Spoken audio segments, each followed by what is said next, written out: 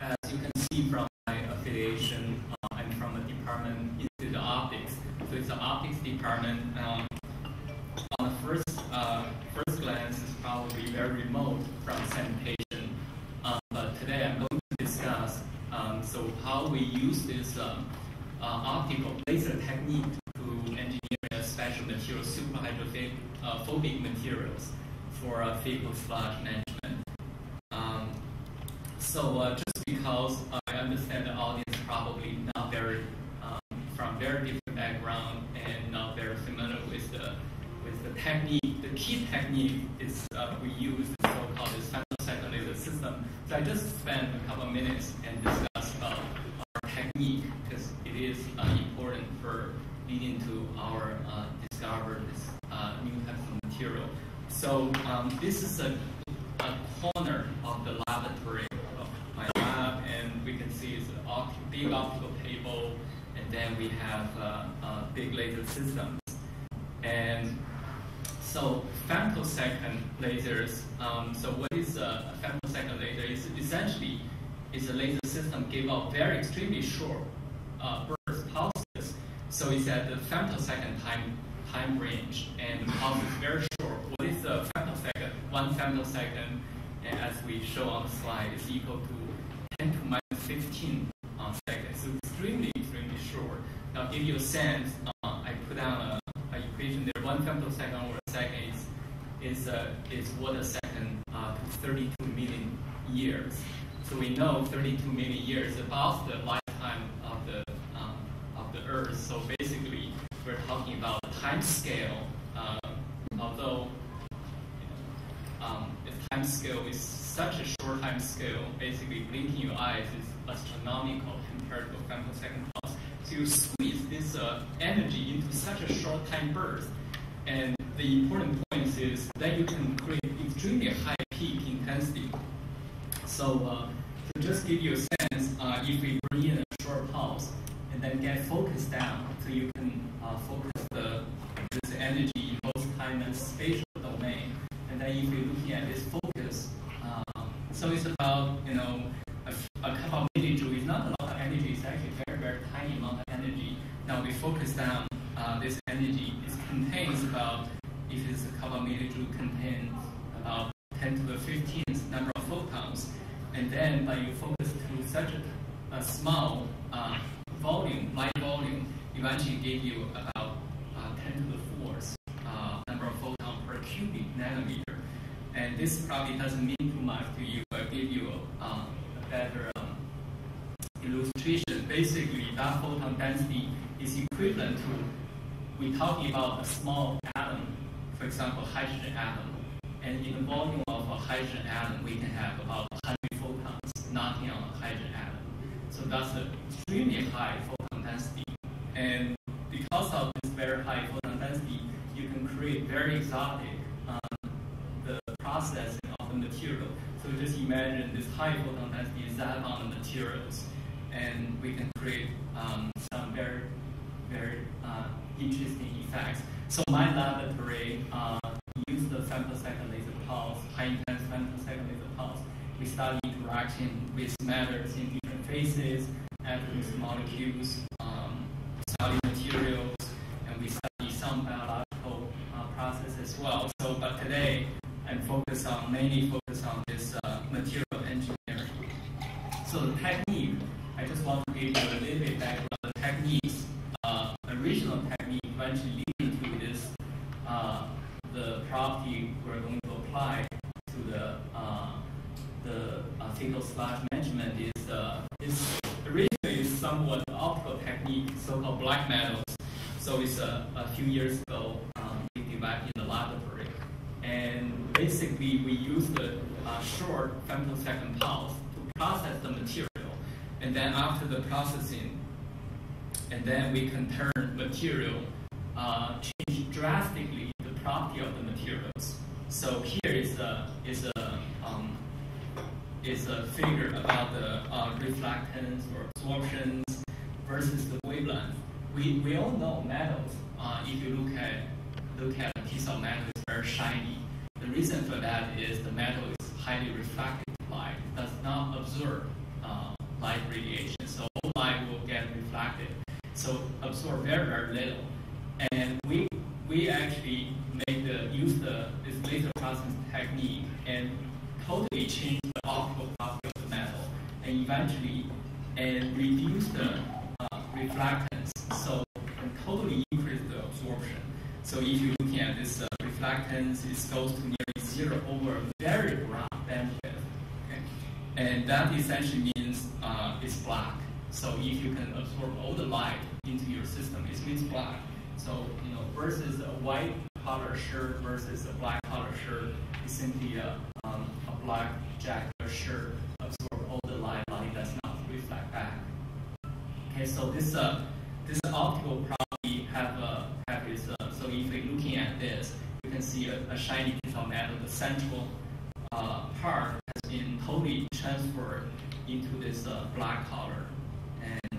and is this uh, this technique, you know, just very brief, has its own uh, applications.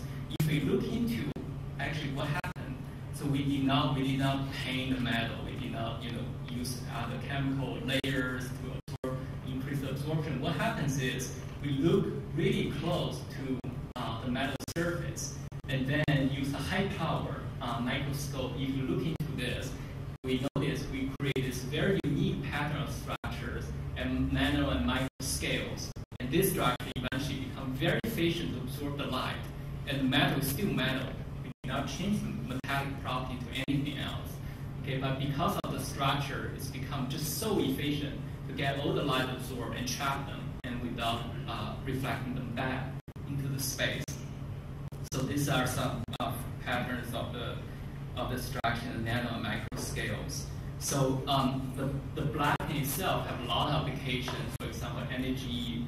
Uh, if you can absorb light more efficient, it's better for solar energy absorption, better sensors, detectors, and you know even stealth technology. We, we also developing technology for the for more efficient catalysts.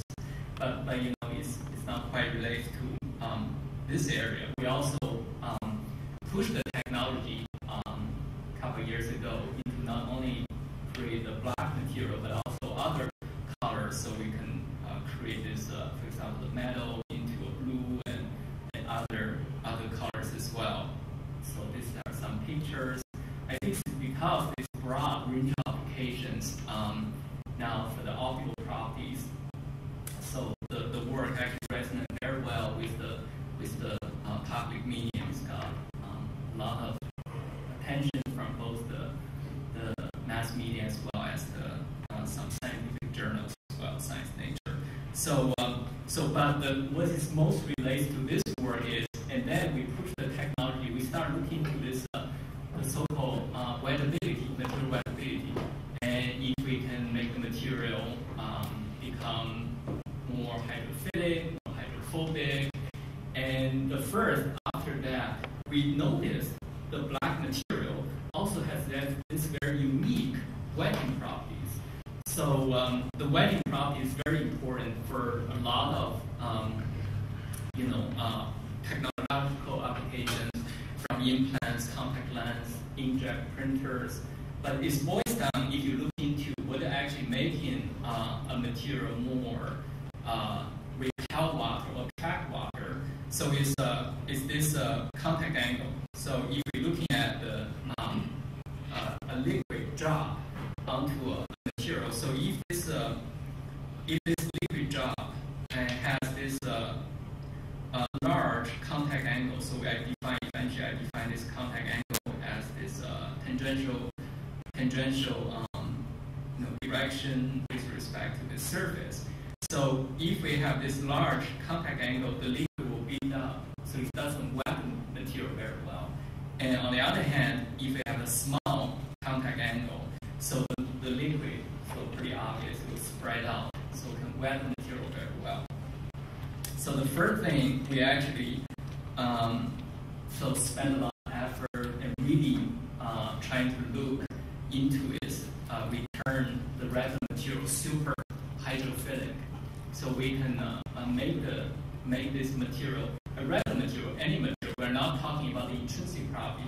So right here, um, most of the material they have their intrinsic wetting property. For instance, some material they sort of attract the liquid, some material they repel sort of the liquid beats up, and you you generally you cannot do much about their intrinsic properties. And but the technique we uh, we introduce here is we we could use the laser processing technique and just turn random materials, regardless their intrinsic properties, to um, at the very beginning we make it super hydrophilic.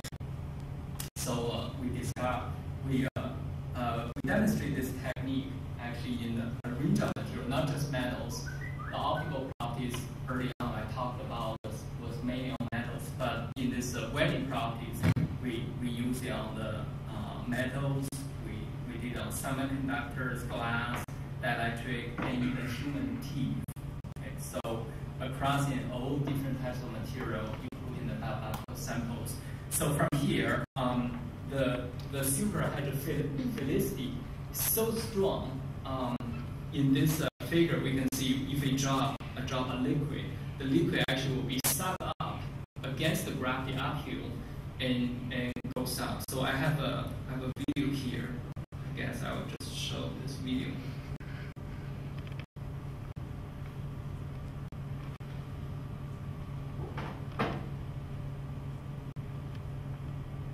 This, okay, so we can see this uh, a drop of liquid.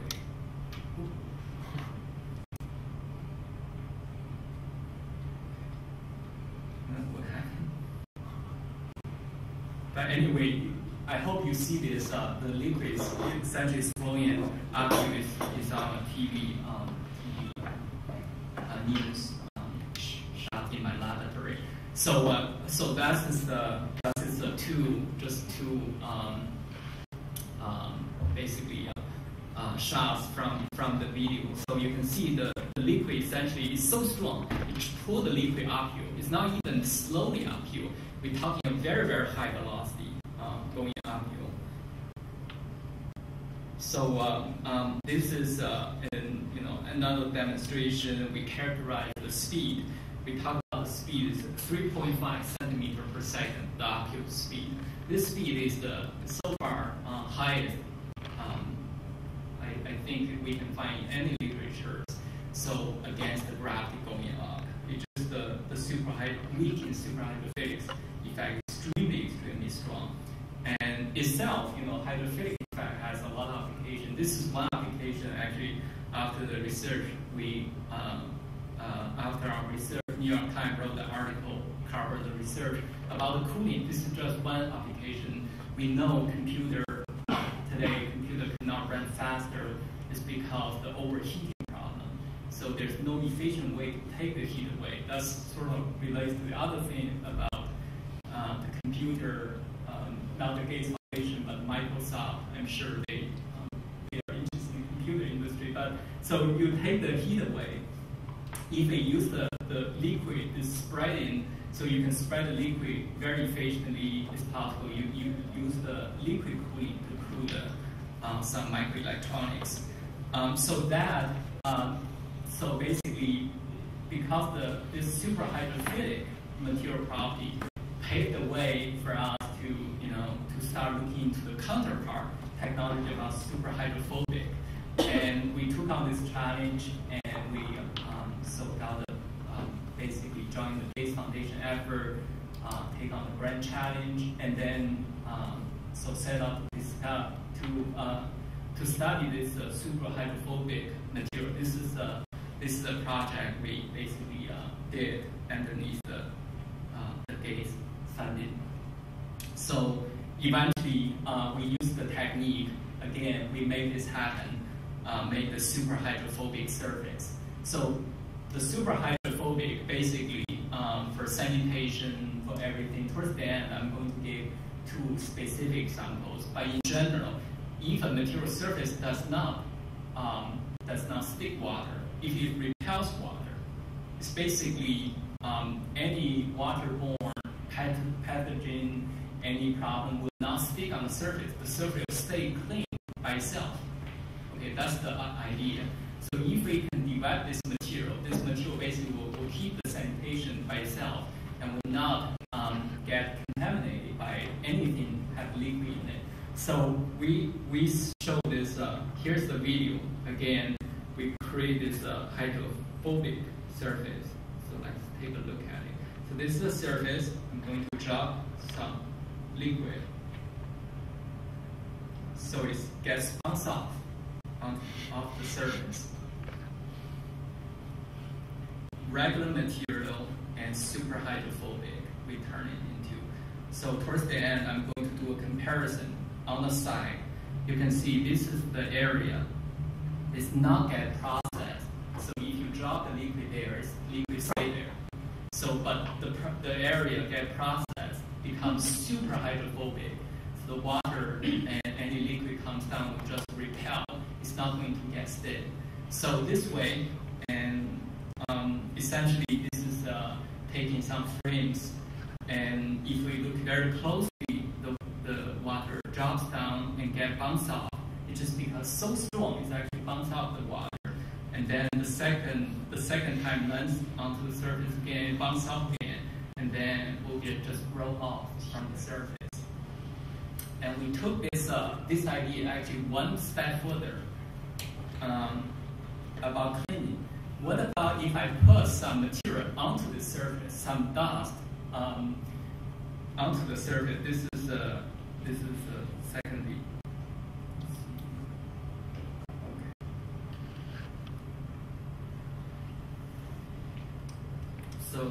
second video. So we put some dust particles onto the surface. Now we take a look at this. So if you have water, not only water will be bounced off, but also take the dust off as well. It's a self-cleaning effect. Okay, but again, in contrast, you can see this uh, originally how strong this uh, the material um, is uh, attracting the water. The water actually can hang onto the material, but does not let go. That's the intrinsic uh, material wetting property. So, but we totally transfer the material property and become super, super hydrophobic. It's actually attract the water reaching the metal surface, but now we make not only is repel the water, but also take the dust away, self-cleaning effects.